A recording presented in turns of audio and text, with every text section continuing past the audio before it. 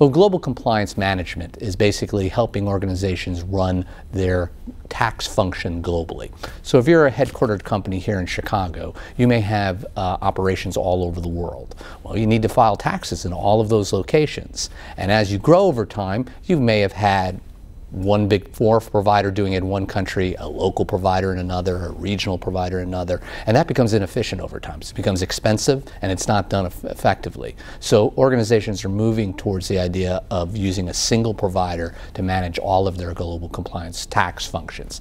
And the global compliance can be corporate income tax, indirect tax, statutory accounting, bookkeeping, even sometimes a little bit of payroll, because it may not may be too small for ADP, but they need to pay people in the locations where they are.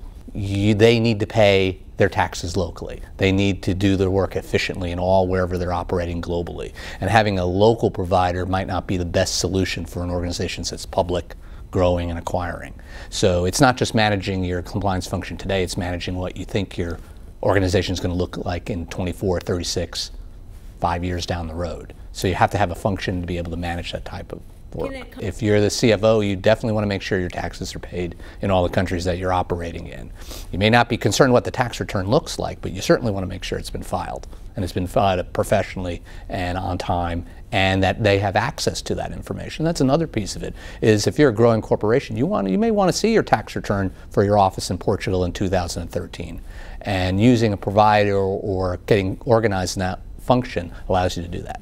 Shared services is when we take a variety of variety of administrative functions and are brought into a centralized resource to manage it more effectively and efficiently. It's sometimes in one location, but it could be in multiple locations strategically across the globe to do it. Uh, shared services can be any kind of administrative task, in, in task including payroll, uh, income tax issues, uh, indirect tax, anything that is kind of administrative in nature that has a bulk uh, implementation that's required to it, that falls under shared services.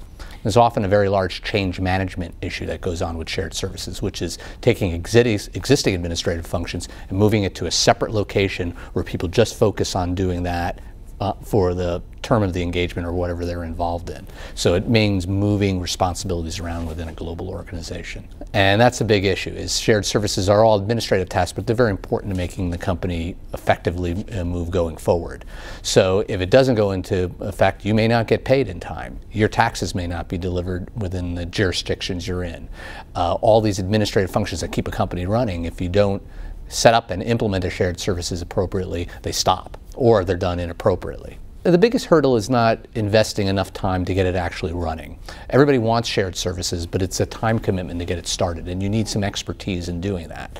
Uh, just because you may be a good tax professional doesn't mean you're good at running a shared service center. So they're often looking for skill sets in setting up shared service centers with people that have experience in change management, have experience with implementing these types of engagement and running them long term.